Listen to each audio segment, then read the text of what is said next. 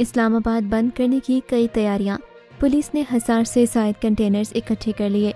Model town का कातिल ड्राना सनाउल्ला और शहबाज शरीफ एक दफ़े फिर तैयार। साठ हज़ार आँसू गैस के शल, पचास हज़ार रबड़ की गोलियाँ और पच्चीस हज़ार इजाफी पुलिस। क्या हालात 25 मई के जुल्म बरबरीत से भी बदतर होने वाले हैं? इमरान खान की तहलका खेस ऑडियो लीक। मैं खुद एम को खरीद रहा हूँ।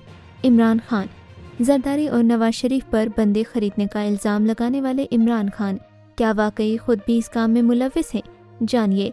खबर वाला में खुश आमदीद। आज की इस वीडियो में हम आपको पाकिस्तान तहरीक इंसाफ के आने वाले दिनों में होने वाले लॉन्ग मार्च के बारे में बताएँगे। और ये भी बताएँगे कि इम्पोर्टेड हुकूमत की तरफ़ से मार्च को रोकने के लिए किस किस्म के हथकंडों के इस्तेमाल की तैयारी हो रही है। दूसरी और तहलका खेस खबर जो हम आपसे शेयर करने जा रहे हैं, वो है इमरान खान की खतरनाक ऑडियो लीक 25 मई को हमने देखा, जब इमरान खान हकीकी आज़ादी मार्च की क्यादत करते निकले तो कैसे राना सनाउल्ला ने पुरअमन लोगों पर निहत्ती औरतों के साथ कैसे जुल्म किया, यहाँ तक कि मासूम बच्चों को भी नहीं बख्शा। पूरी दुनिया ने देखा किस तरह पीटीआई के लोगों को मारा पीटा गया। सत्तर साल खातून यासमीन राशिद की गाड़ी को किस तरह पुलिस वालों ने घेरा और डंडे बरसाए। इमरान खान की हुकूमत के दौरान न सिर्फ़ महँगाई मार्च किया नून लीग ने, बल्कि फजल रहमान का आज़ादी मार्च और बिलावल की मुल्क की रैली भी हुई और इमरान खान ने इन सबको पुरान इजाज़त भी दी। मगर नून लीग की ये तारीख रही है, कत्लो गारत, ताकत के नशे में ये अंधे हो जाते हैं। चाहे आप 2014 में देख लें जो इन्होंने मॉडल टाउन में किया, उस वक्त के वज़ीर कानून राना सनाउल्ला जो कि कातिल है, के हुक्म पर पंजाब पुलिस ने चौदह लोगों को गोलियों से छलनी कर दिया, जिनमें प्रेग्नेंट खातन और बच्चे भी शामिल थे। और ये सब उस वक्त के वज़ीर अजम मफरूर ना अहल नवाज़ शरीफ और वज़ीर अला पंजाब शहबाज शरीफ, जो इस वक्त का वज़ीर अला था, इनके हुक्म पर हुआ और कानून ने इन कातिलों को खुली छुट्टी दी।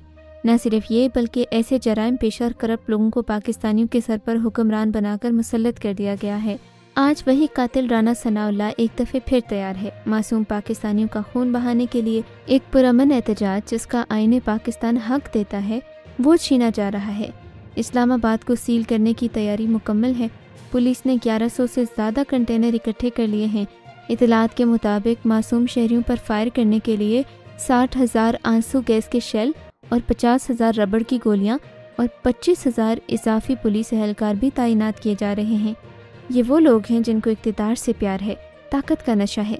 बज़ाहिर तो मरियम नवाज़ आवाम की लीडर होने का दावा करती है। मरियम बलूचिस्तान गई लापता अफराद के अहल खाना और दहशत गर्दी का शिकार होने वाले लोगों से मिली, आँसू भी बहा लिए। सैलाब जदगान के साथ कामयाब फोटोशूट भी किया। अंजलिना जोली बनने की नाकाम कोशिश भी की, लेकिन उसी मरियम की जब ऑडियो लीक हुई तो कहती है कि सेहत कार्ड बंद करो, हम फंड्स की कमी का बहाना कर देंगे।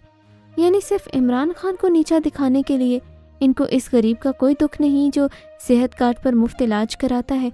खुद तो बेशर्मों की तरह हमेशा मुश्किल वक्त में कभी सऊदी अरेबिया और कभी इलाज के बहाने लंदन भाग जाते हैं। अब आते हैं दूसरी खबर की तरफ़। इमरान खान की एक खतरनाक ऑडियो लीक हुई है, जिसमें वो मुबैना तौर पर ये कह रहे हैं कि मैं खुद एम एन को ख़रीद रहा हूँ। यानी वो इमरान खान जो जरदारी पर पीटीआई के बंदे करोड़ों में ख़रीदने का इल्ज़ाम लगाते रहे और कहते रहे कि इस टाकू को जेल में डालो, उसी काम में वो खुद भी मुलविस है। इमरान खान ऑडियो में मजीद कह रहे हैं कि ये ठीक है या गलत, आप फ़िक्र ना करें।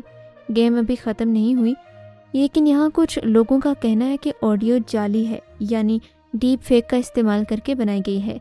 जैसे पहले वाली ऑडियो में इमरान खान के अल्फाज को एडिट करके उसे साजिश बना दिया गया। हाल ही में मियावाली में होने वाले एक जलसे में इमरान खान ने नवाज़ शरीफ की एक फेक वीडियो चलाई और कहा कि, मैं सिर्फ़ ये बताना चाहता हूँ कि हम भी ये काम कर सकते हैं। कहें तो सबकी बना देते हैं। तहम इमरान खान की लीक ऑडियो को जियो टीवी के सीनियर सहाफ़ी शहजाद इकबाल ने भी फेक कहा। यानी पाकिस्तान का वो न्यूज़ चैनल जिसको नून लीग ने खरीद रखा है। इसका सहाफ़ी भी सच बोलने पर मजबूर है। तो फिर यकीनन ये ऑडियो मरियम की प्रोडक्शन होगी। आपका इस बारे में क्या ख्याल है? कमेंट्स में ज़रूर बताइएगा। मज़ीद ऐसी अपडेट्स के लिए खबर वाला को सब्सक्राइब कर दीजिए, क्योंकि हम आपको दुनिया भर की खबरें दिखाते और सुनाते हैं।